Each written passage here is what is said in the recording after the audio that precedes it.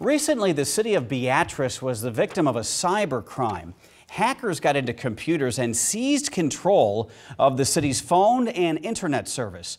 That affected vital departments like police and fire. The FBI is now sounding the alarm about this growing type of crime.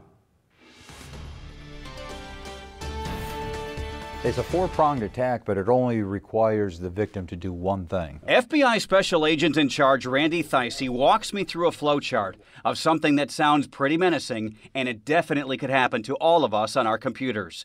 It's a crime that costs a lot of money to undo or reverse. Ransomware. Ransomware is a piece of virus or malware that can get on your computer and it will look for your data files and it will encrypt your data files so you cannot have access to them. Here's how it works. Cyber thieves send you an email known as spam with an attachment. When you open it, you've launched the virus, and certain data that you have stored or saved is compromised.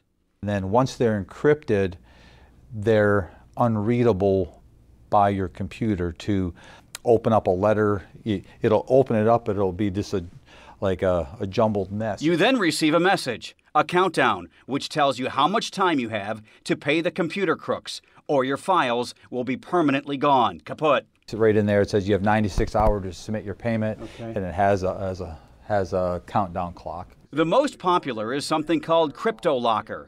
The ransom is payment to get a private key. That's a fancy term for a bunch of numbers and a password the thieves will send you to get your data back. You're at their mercy. And this is the financial web a victim gets caught in when making a payment. In the example the FBI showed us, $300 for the password for access to your files. The network that the money travels on that makes it near impossible to trace. There are two specific ways you can protect your files on your computer. Number one, make sure you have aggressive anti-malware software installed on your computer.